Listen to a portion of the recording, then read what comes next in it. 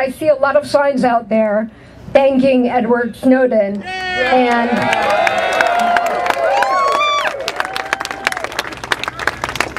we would not be having this rally but for one person, and that is Edward Snowden.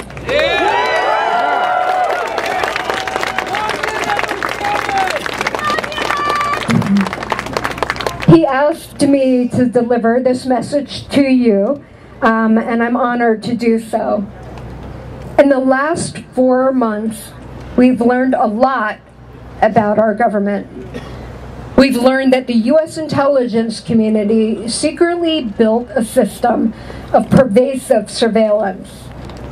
Today, no telephone call in America makes a, goes through without a record from the NSA. Today, no internet transaction enters or leaves America without passing through the NSA's hands. Our representatives in Congress tell us this is not surveillance. That's a joke. Perjury! Idiots! They're wrong. We've also learned this isn't about red or blue or party lines. And it is definitely not about terrorism. Yeah, Right.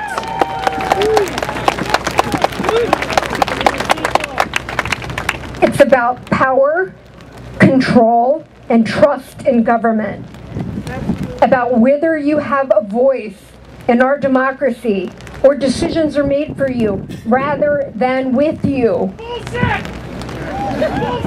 We are here to remind our government officials that they are public servants, not private investigators. Yeah. They already recalled Colorado's This is about the unconstitutional, unethical, and immoral actions of the modern day surveillance state and how we all must work together to remind the government to stop them. It's about our right to know, our right to associate freely, and to live in a free and open democratic society. Yeah. We are witnessing an American moment in which ordinary people, from high school to high office, stand up to oppose a dangerous trend in government. We are told that what is unconstitutional is not illegal, but we will not be fooled. We have not forgotten that the Fourth Amendment in our Bill of Rights prohibits government not only from searching our personal effects without a warrant, but from seizing them in the first place and doing so in secret.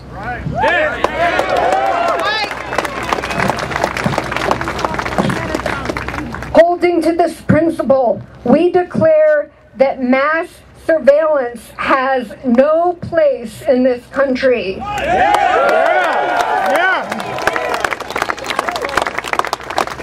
It is time for reform.